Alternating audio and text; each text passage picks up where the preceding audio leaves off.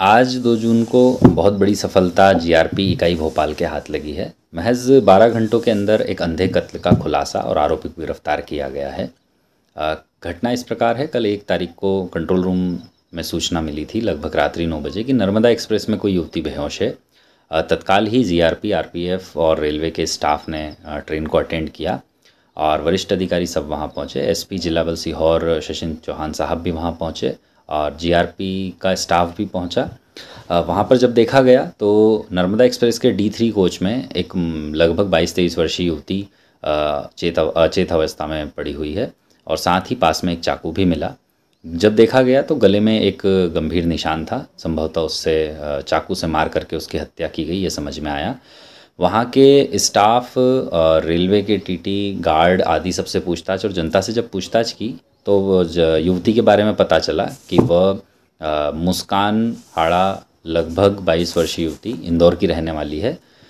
जब उसके परिवार का पता किया तो पता चला कि वह इंदौर से भोपाल की यात्रा कर रही थी, अपने सहेली से मिलने जा रही थी। परिवार ने यह भी बताया कि उनको जब वह सीहोर पहुँचने वाली थी, तब जब बात हो रही थी युवती से तो परिवार को बताया कि सागर सोनी करके एक व्यक्ति है जो ट्रेन में ही है और संभवतः उससे वह डरी हुई है। ये जैसे ही ट्रेन को सूचना जीआरपी पुलिस और कंट्रोल को सूचना मिली डायल के माध्यम से, तत्काल ही ट्रेन स्टेशन पे आ चुकी थी और चंद मिनटों पहले ही ये घटना कारित हो चुकी थी। जैसे ही वरिष्ठ अधिकारियों को जानकारी दी तो हमारे विशेष पुलिस महानिदेशक रेल श्री सुधीर शाही सर और पुलिस महानिरीक्षक रेल श्री महेंद्र सिकरवार सर द्वारा बड़े गंभीरता से इस मामले को लिया गया और बड़े अच्छे बिंदु विवेचना के और इस प्रकरण को निराकरण करने के संबंध में दिए गए। ये बहुत अच्छी कार्रवाई रही कि उसके बाद समस्त इकाइयों द्वारा, चाहे वो आरपीएफ हो रेलवे विभाग के हों, जीआरपी हो, जिला बल हो, सभी के द्वारा एकत्रित होकर के पूरी घटना को गंभीरता से निराकरण किया गया।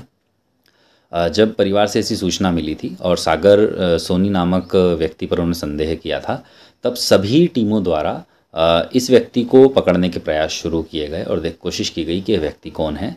यहाँ पर इंदौर पुलिस की भी हमें मदद मिली, जीआरपी इंदौर की भी हमें मदद मिली। उनकी ग्राउंड पर टीम काम कर रही थी। भोपाल में पूरी जीआरपी की टीम, सीहोर में जिला बल सीहोर की टीम। लगातार रात भर आरोपी के पहचान वाले दोस्त यारों से पूछताछ करती रही और एकाएक भोपाल में फिर हमें सफलता मिली, जो आरोपी सागर सोनी का घर मिला था। उसके पास ही मुखबिर से पता चला कि वहीं पर आसपास छुपा हुआ है।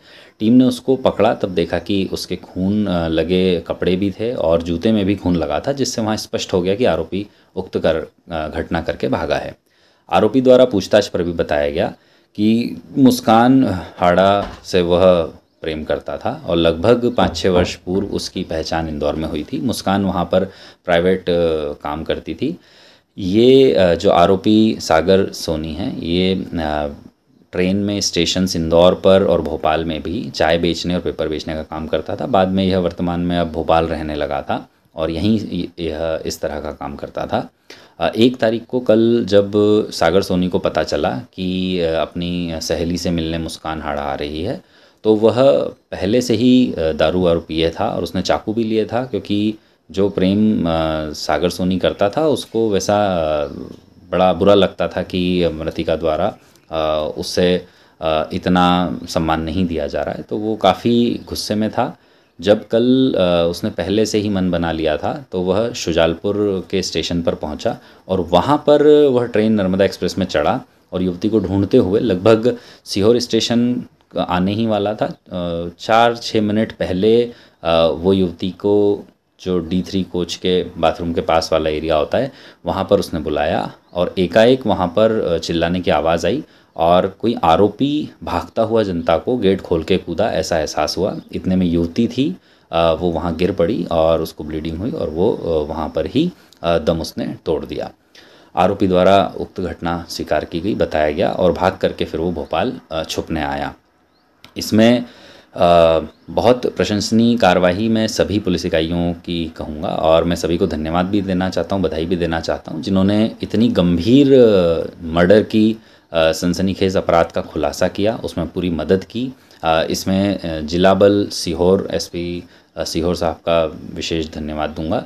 साथ ही हमारे जीआरपी के staff additional SP Pratima Mathew DSP Rajak साहब थाना प्रभारी भोपाल रावत साहब और उनकी पूरी टीम, नरेंद्र, ब्रजेश, राजेश आदि को बधाइयाँ। इसी के साथ आरपीएफ और रेलवे विभाग का हमें बहुत सब सहयोग मिला। एसआरपी इंदौर इंदौर रेल इकाई का सहयोग मिला, जिला बल रेल का सहयोग मिला। उनकी सबकी प्रशंसनीय कार्रवाई रही। उन सभी को धन्यवाद। जो सभी ने बहुत अच्छा काम किया है, यहाँ सीएसपी सीहोर और थाना प्रभारी सीहोर, दोनों का भी सहयोग मिला। सभी को इसमें अच्छा इनाम से पुरस्कृत किया जाएगा।